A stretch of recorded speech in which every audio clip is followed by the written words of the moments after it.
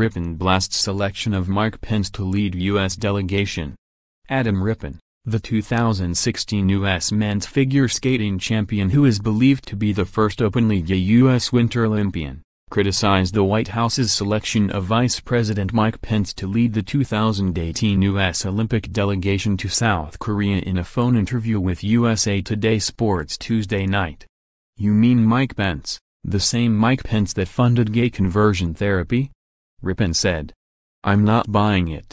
Rippon, 28, who was selected to his first Olympic team earlier this month after finishing fourth at the U.S. National Championships, said that he would prefer not to meet Pence during the traditional meet and greet between the official delegation and U.S. athletes in the hours leading to the opening ceremony. It's possible Rippon would have to miss that event anyway to be part of the team figure skating competition. More, coming out changes the game for Olympian Gus Kenworthy more. North and South Korea agree to form first unified Olympic team if it were before my event. I would absolutely not go out of my way to meet somebody who I felt has gone out of their way to not only show that they aren't a friend of a gay person but that they think that they're sick, Rippon said. I wouldn't go out of my way to meet somebody like that. I don't think he has a real concept of reality, Rippon said of Pence. To stand by some of the things that Donald Trump has said and for Mike Pence to say he's a devout Christian man is completely contradictory. If he's okay with what's being said about people and Americans and foreigners and about different countries that are being called shitholes, I think he should really go to church. Rippon did say that if given a chance to meet Pence after competing, unlikely considering the relatively short length of any delegation's visit to the games, he would consider it. If I had the chance to meet him afterwards, after I'm finished competing, there might be a possibility to have an open conversation, Rippon said. He seems more mild-mannered than Donald Trump. But I don't think the current administration represents the values that I was taught growing up. Mike Pence doesn't stand for anything that I really believe in. The widespread belief that Pence supports gay conversion therapy comes from a statement he made in 2000 on his congressional campaign website. Resources should be directed toward those institutions which provide assistance to those seeking to change their sexual behavior.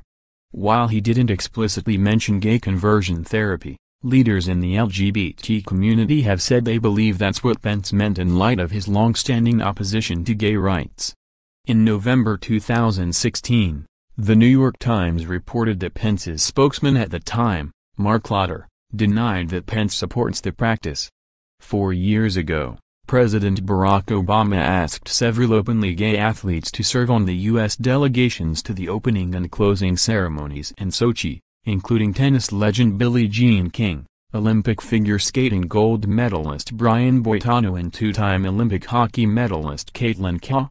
I think the move that President Obama made was very poignant and it was right in the midst of the huge controversy of gay propaganda being illegal in Russia, Rippon said referring to Russian President Vladimir Putin's anti-gay efforts. Rippon, who said he was bullied and teased as a boy growing up in Scranton, PA, came out publicly as being gay in October 2015. He often talks about how he hopes his story can help others, especially young people who might be struggling with their sexuality. Always outspoken, Rippon said recently he will not go to the White House for a post-Olympic celebration hosted by President Trump. I said no, he reiterated Tuesday. Legendary skier Lindsey Vonn has said she will not attend as well. But Rippon also said he will not protest for gay rights or against the Trump administration in any way during the Olympics themselves. No, I'm a U.S. athlete representing my country. I will continue to share my story, but I will participate in no form of protest. I'm representing myself and my country on the world stage. I have a lot of respect for this opportunity. What makes America great is that we're all so different. It's 2018 and being an openly gay man and an athlete, that is part of the face of America now.